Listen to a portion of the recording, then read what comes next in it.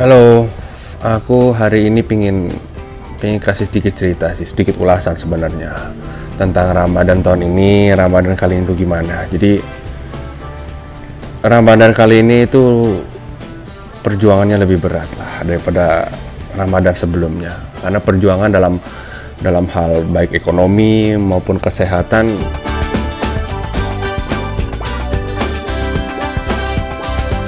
dalam hal ekonomi aja itu seperti yang kita tahu kalau banyak pekerjaan yang tercancel itu udah pasti. Akibatnya kita diwajibkan untuk di rumah aja stay at home ya demi untuk memutus mata rantai virus corona. Untuk diam di rumah aja itu kan otomatis tidak bisa bekerja sama sekali. Sedangkan pekerjaan saya 80% itu berada di rumah dan oleh karena itu ya otomatis penghasilan juga ya berkurang. Sedangkan kita hanya harus berusaha menabung terus untuk masa depan apalagi pendidikan anak.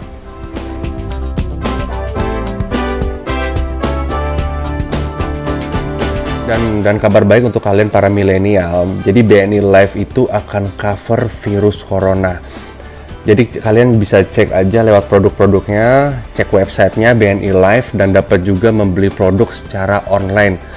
Dan preminya terjangkau, jadi lu pada tenang aja. Ada juga BNI juga bisa kamu download lewat Play Store, cek juga BNI Live di sosial medianya. Ketahui dan info-info akan menarik di sana. Ya pokoknya intinya BNI Live itu mengajak kita harus selalu smart itu dalam mulai menata keuangan untuk ke depannya Uh, karena kan kita nggak pernah tahu dan kita nggak pernah bisa prediksi um, kapan masa sulit seperti ini sekarang akan datang gitu loh. Dan gue ngucapin terima kasih kepada lo semua yang di rumah aja. Berarti lo semua berperan dalam kondisi virus corona saat ini. Dan satu lagi untuk gue, tetap semangat. Kita harus siapkan kehidupan ke depannya yang lebih baik.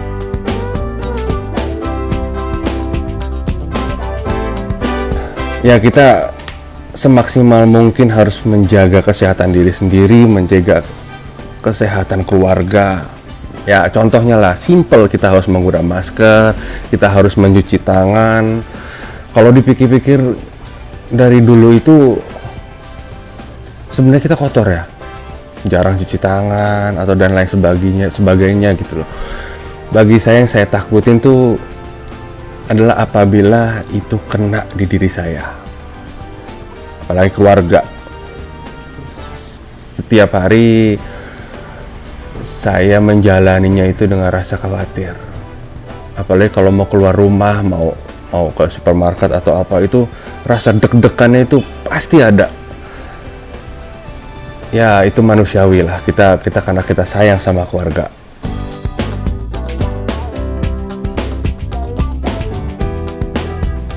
Ada juga sih hikmahnya dalam kondisi sekarang ya cukup dan itu cukup banget kasih waktu yang lebih untuk keluarga. Dulu kan aku jarang di rumah, maksudnya syuting dari pagi sampai pagi gitu. Sekarang sekarang untuk keluarga itu lebih lebih lebih lebih dekat gitu loh, lebih lebih lebih baik main sama anak, sama istri.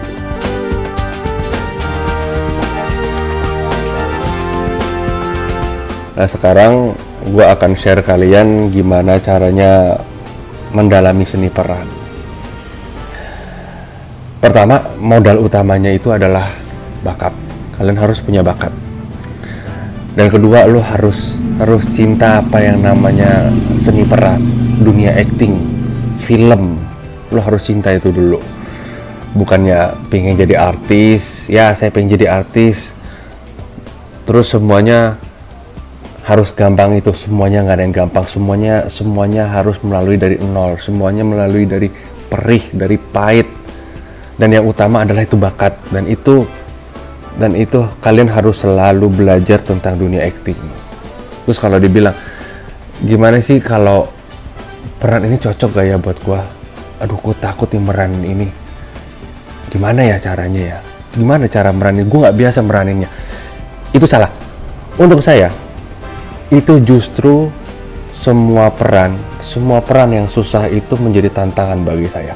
Mau mau tantangan susah itu peran itu menjadi presiden menjadi kakek semua peran itu susah. Jadi kita harus benar-benar memainkannya dengan sempurna. Karena acting itu karena bagi saya acting itu bukan iya saya paham iya saya mengerti tapi tapi bagaimana melakukannya dengan indah.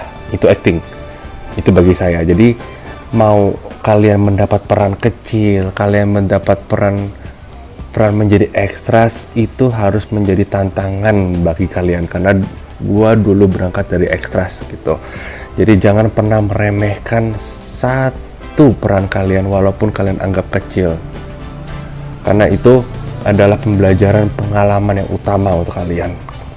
Kalian harus bisa menciptakan acting yang sangat jujur. Oke? Okay?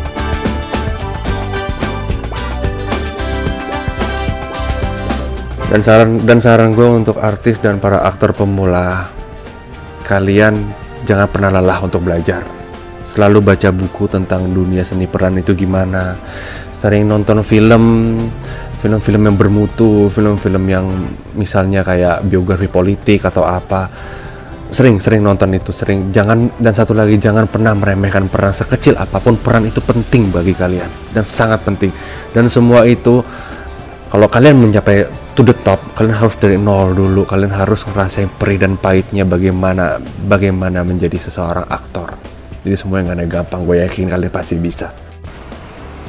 Uh, sedikit akan gue ceritakan gimana mulainya perjalanan karir gue sedikit. Sebenarnya menjadi aktor ini adalah bukan cita-cita gue dari SMA gitu. Gue nggak suka. Gue nggak suka kehidupan artis gue nggak suka yang gue suka tuh kehidupan militer. Itu cita-cita gue jadi polisi. Itu cita-cita gue dulu SMA gue daftar polisi gue daftar militer. Nggak ada yang diterima. Pada suatu hari gue diajak sama temen pemilihan ikut abang none. Dan gue menang di situ Jakarta Selatan 2003 dari situ mulai tuh banyak tawaran banyak tawaran.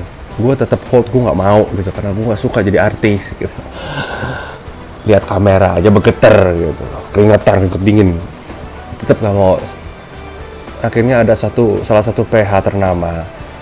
Dia emang jago untuk nyari bakat. Jebolan-jebolannya PH itu udah pasti top lah. Gue ditawarin. Itu gue masih ingat film pertama gue itu film Jelangkung 3 itu di gue dikasih kepercayaan untuk memainkan sebuah peran peran utama. Dan dan di hati gue itu nggak mungkin lah. Gue nggak mau jadi artis. Tapi mereka percaya itu. Mereka percaya gue punya bakat. Mereka punya eh, mereka percaya gue punya sesuatu. Makanya makanya gue dipercaya memainkan di situ sebagai peran utama. Akhirnya film itu jadi rilis. Mereka bilang cara mainku apik.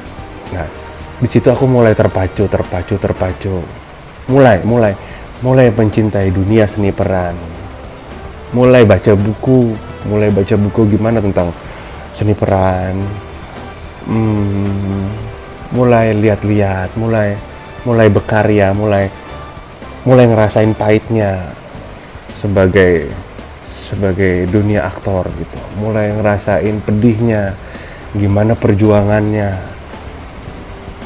Dari situ terpacu akhirnya aku bilang ini dunia gua.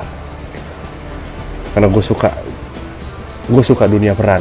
Akhirnya karena karena banyak yang bilang lo punya sesuatu Reza lo punya lo punya bakat barakallah Reza Palevi